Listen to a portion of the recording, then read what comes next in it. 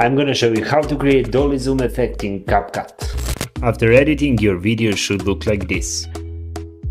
First, you need to record a video with an empty frame at the beginning or end, without person in it.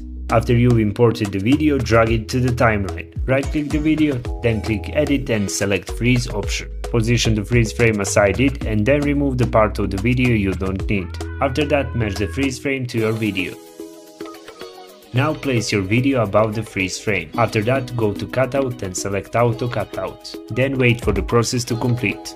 Click on the basic, then add a keyframe at the beginning of the freeze frame. Now go to the end, click freeze frame and increase the scale as you like. After that, click on your video, add a keyframe and increase the scale at the beginning. Next add a keyframe at the end and decrease the scale.